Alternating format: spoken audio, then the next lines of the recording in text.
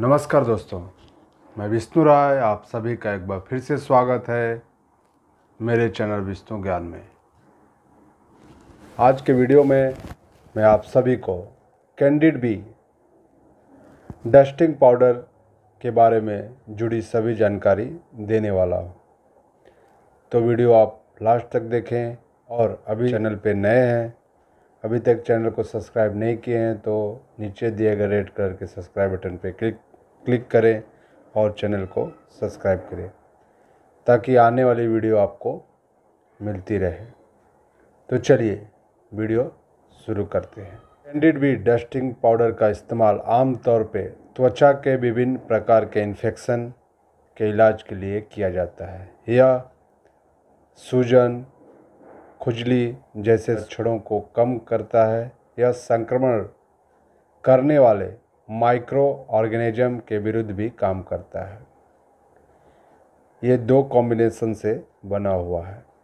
बेक्लोमेटासोन 0.025 percent और क्लोटीमाजोल 1 percent त्वचा में फंगल इन्फेक्शन के इलाज में कैंडेड बी डस्टिंग पाउडर का इस्तेमाल किया जाता है। क्लोटीमाजोल और बैक्लोमेटासोन इसे फंगस के कारण होने वाले त्वचा संक्रमण का इलाज करने के लिए इस्तेमाल किया जाता है।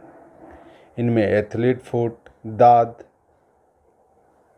स्वेट रैश जैसे इन्फेक्शन शामिल है।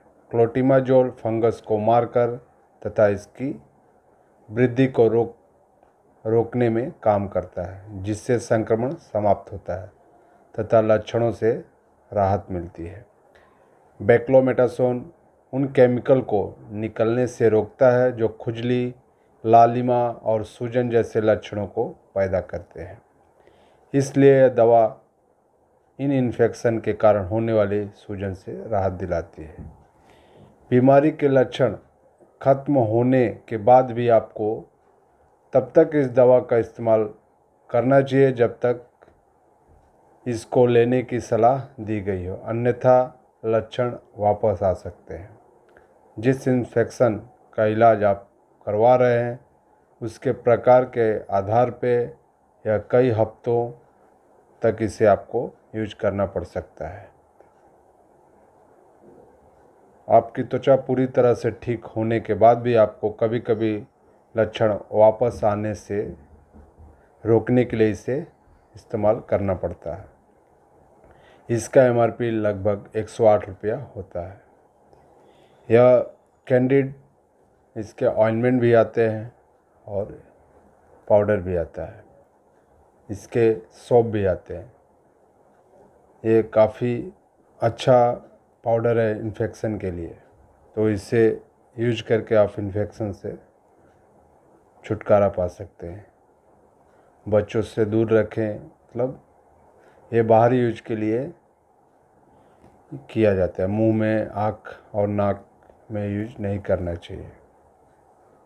तो चलिए आज के लिए बस इतना ही। कैंडिड बी पाउडर के बारे में इन्फॉर्मेशन आपको पसंद आया तो वीडियो को ज़्यादा से ज़्यादा शेयर करें कि और लोगों तक यह इन्फॉर्मेशन पहुँचे। धन्यवाद।